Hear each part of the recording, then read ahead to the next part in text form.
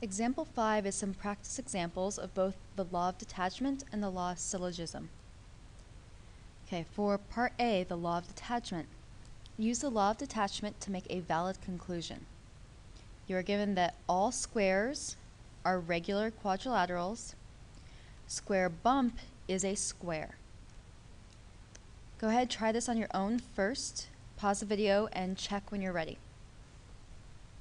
Okay, we know that all squares are quadrilaterals, which means if we have a square, then it's a quadrilateral. We also know that square bump, so we know bump, B-U-M-P, is a square. Well, let's look at this. We have square and square, which means we can connect square bump is a square, and since it's a square, it's a quadrilateral. Our final statement is square bump, B-U-M-P, is a quadrilateral.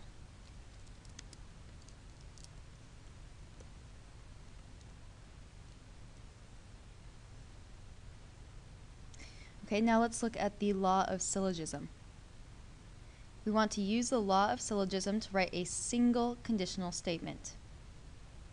These are the statements we're given. If we have a math test, then I'll have to study.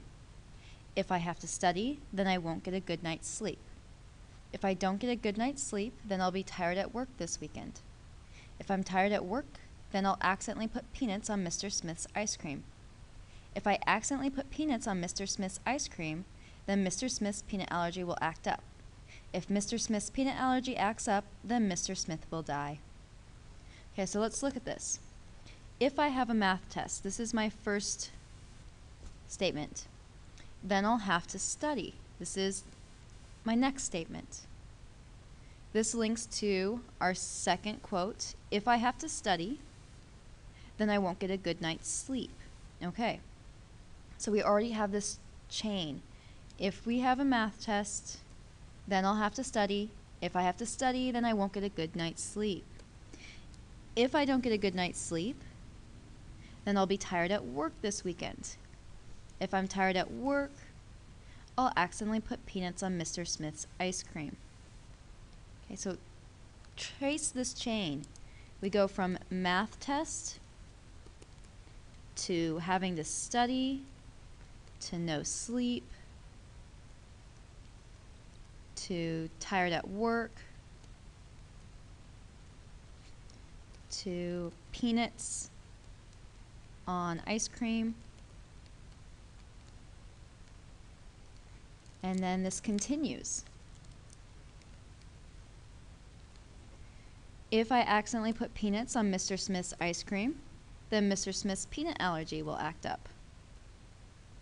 So peanuts on ice cream to allergy if Mr. Smith's peanut allergy acts up, then Mr. Smith will die.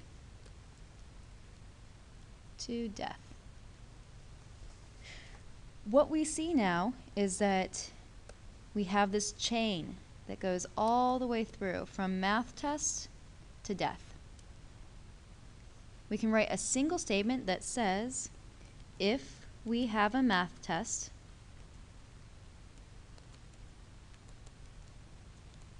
then Mr. Smith will die. Not the happiest of statements, but hopefully it gives you an idea of how the law of syllogism works.